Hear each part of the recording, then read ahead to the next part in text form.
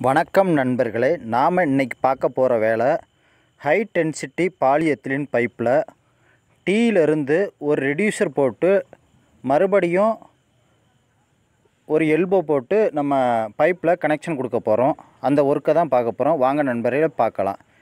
இப்போ நம்ம ஏற்கனவே இருக்கக்கூடிய டீயிலிருந்து ப்ரொஜெக்ஷனாக இருக்கக்கூடிய ஏரியாவிலேருந்து ஒரு ரெடியூசர் டை ஜாயின் பண்ணியிருக்கோம். அந்த ரெடியூசரில் கனெக்ஷன் பண்ணியிருக்கோம் பார்த்திங்களா இதில் அந்த பாயிண்டோட கனெக்டருக்கு பேர் மைனஸ் இருக்கும் ஒன்று ப்ளஸ் இருக்கும். அதில் உள்ளுக்குள்ளே நம்ம அந்த கப்ளர் இந்த இருக்குது பார்த்திங்களா இந்த கப்ளரில் அந்த வரி வரியாக இருக்குது பார்த்திங்களா இது ஃபுல்லாக காப்பர் ஒயரு இந்த கனெக்ஷன் பவர் கனெக்ஷன் கொடுக்கும்போது அது ஹீட்டு ப்ரொடெக்ஷன் ப்ரொடெக்ட் பண்ணி அது ஹீட் ஆகி உள்ளே உள்ள பைப் நம்ம இந்த இதில் ப்ரொஜெக்ஷன் ஆகிருக்க அந்த பைப்பும் இப்போ இருக்கக்கூடிய பைப்பும் ஜாயிண்ட் ஆகி மெல்ட் ஆகி நல்லா பக்காவாக அஞ்சு லேயர் இருக்கும். அஞ்சு லேயரும் கப்புன்னு ஒட்டிக்கிறோம். பாயிண்ட் வீக் ஆகிறதுக்கு உண்டான வாய்ப்பு குறைவு. இந்த எலக்ட்ரிபியூஷன் மெத்தடில் நம்ம கப்ளர் ஜாயிண்ட் பண்ணும்போது ஃபெயிலியர் ஆகக்கூடிய சான்ஸ் குறைவு.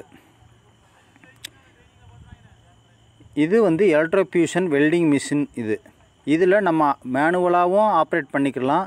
இந்த மாதிரி ஸ்கேன் பண்ணியும் ஆப்ரேட் பண்ணிக்கலாம். இப்போ நம்ம பண்ணியிருக்கிறது மேனுவல் ஆப்ரேஷன் பண்ணியிருக்கோம் இதில் நம்ம ஒரு தடவை செட் பண்ணிட்டோம்னா ஒவ்வொரு டயாவுக்கு ஏற்ற மாதிரி அதோட